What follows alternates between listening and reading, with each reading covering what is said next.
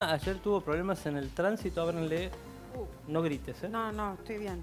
¿Qué te pasó? Ayer estaba viniendo para acá después de dos choques, bajé en la 9 de julio, me encuentro con la manifestación que a mí el Waze no me lo marcaba y empecé como a querer irme por las calles Sí, por paralelas. costados.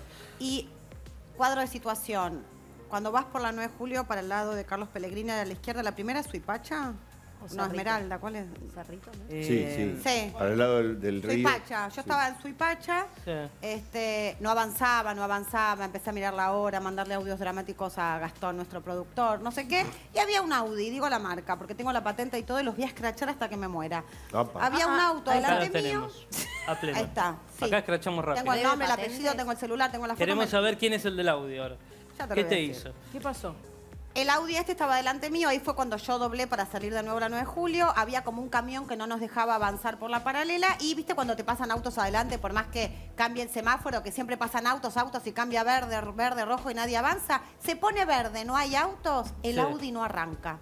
Se Tocó quedó. la bocina, se baja una chica un poco nerviosa, se ve que estaban discutiendo ellos dos y se ponen a pelear en el medio de la calle con el obelisco tomado, el tráfico y que uno no llega a un trabajo. Generalmente la gente que está en el microcentro va a trabajar y la chica como paradita así con la puerta abierta le discutía. Yo les toco la bocina y le digo, córranse para pelear así yo Claro. sigo y los autos que están atrás.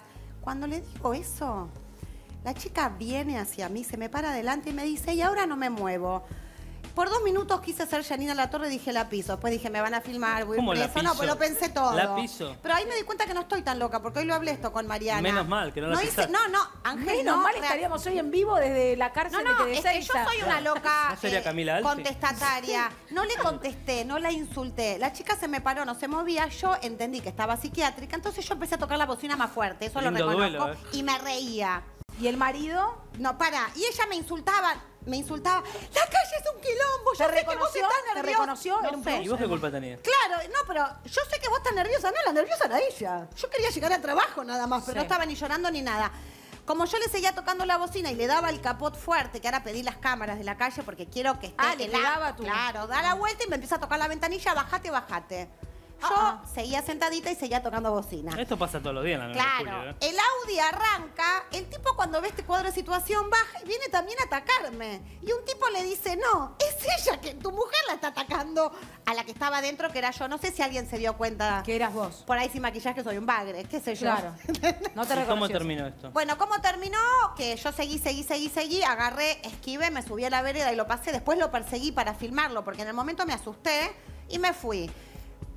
Llamé a alguien que me ayudó a averiguar, se llama Javier Emilio Müller o Müller con doble L. Le tengo el celular, tengo la foto del celular, tengo su Facebook. Pareces tengo Aníbal Fernández. Todo, tengo la dirección de la casa. Uh, alguien anoche me dio una gran idea que le voy a pedir todo, todo, todo, todo. No la des, la gran idea no la, te agradezco. A partir de los 25 años el desgaste